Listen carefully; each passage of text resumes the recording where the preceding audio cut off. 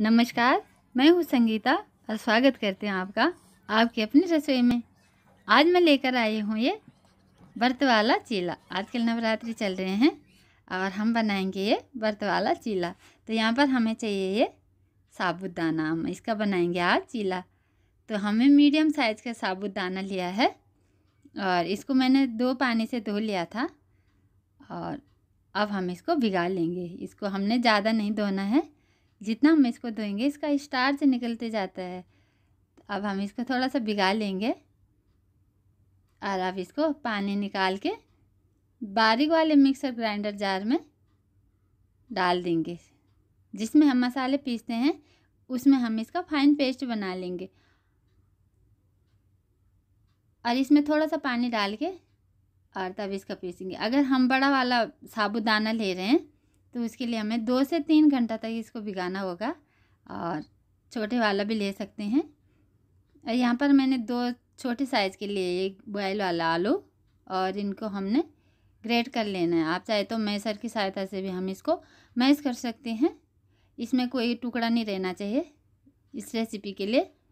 और अब यहाँ पर लेंगे हम, इसमें निकालेंगे हम ये साबुदाना वाला पेस्ट और अगर हमें यहाँ पर ज़रूरत पड़ेगी इसमें तो हम और पानी डालेंगे। चाहे तो यहाँ पर थोड़ा सा दही का यूज़ भी कर सकते हैं हम। और अब हमें जो आलू हमने ग्रेट किया था, उसको डालेंगे। और यहाँ पर मैंने लिया ये दो हरी वाली मिर्ची, इसका हमने बीज हटा लिया था। और अब लेंगे इसमें ये सेंधा नमक, जो बर्त में खाया जाता है। और ये दही, आधी कटोरी दही लिए है, ये फ्रेश वाली दही है। एक चम्मच के बराबर है धनिया की पत्तियाँ। अब इसका अच्छा सा पेस्ट बना लेंगे, फेंट लेंगे इसको और इसका हमने बिल्कुल भी पानी का यूज़ अभी नहीं करना है। और साइड में रख देंगे थोड़ी देर के लिए रेस्ट करने के लिए। यहाँ पर मैंने लिए मूंगफली, इनको मैंने रोस्ट कर लिया था और इसका छिलका मैंने हटा लिया था। और अब लेंगे यहाँ पर ये नारियल के टुकड़े। और अब हम डालेंगे इसमें दही, एक चम्मच दही है ये। और कुछ पुदीने के पत्ते फ्रेश वाले हैं। और दो हमने यहाँ पर लिया है मिर्ची, टुकड़ों में तोड़ दी थी और यहाँ पर लिया सेंधा नमक, फिर से और ये तजा धनिया। इसका हमने डंडियों ही लेना है। और जितना हमें पानी लगेगा, पेस्ट बना लेंगे इसका भी। और अब हम निकाल देंगे इसको। अब हमें चाहिए तो यहाँ पर हम थोड़ा सा तड़का भी लगा सकते हैं इसमें। आप जैसा खाना पसंद करोगे। अगर आप जीरा खाते हो तो जीरा का तड़का लगा दीजिएगा। और अब ये पेस्ट थोड़ा और इसको थोड़ा सा मिक्स कर लेंगे।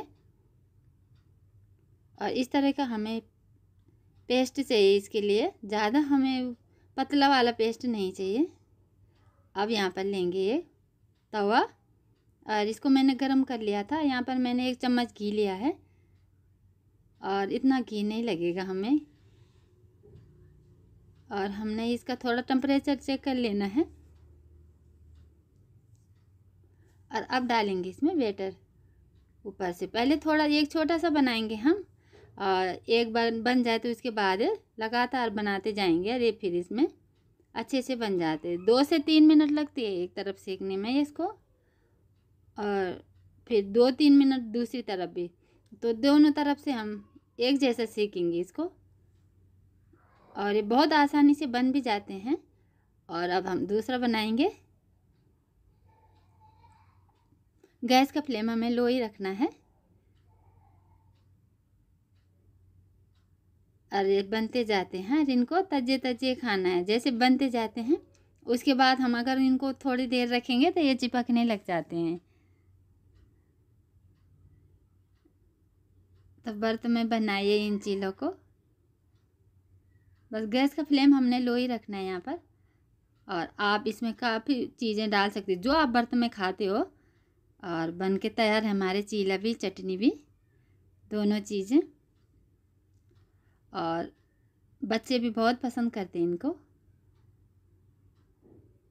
और अगर आप भी खिचड़ी और खीर खा खा के थक चुके हो तो इस तरह का चीला आप ज़रूर से ट्राई कीजिएगा। और यदि रेसिपी अच्छी लगे तो प्लीज़ इसे लाइक दीजिएगा और चैनल को भी सब्सक्राइब कीजिएगा। साथ में बेल आइकन भी ज़रूर से दबाइएगा। तो मिलते हैं नेक्स्ट रेसिपी में। और वीडियो देखने के लिए बहुत बहुत धन्यवाद। Thank you so much.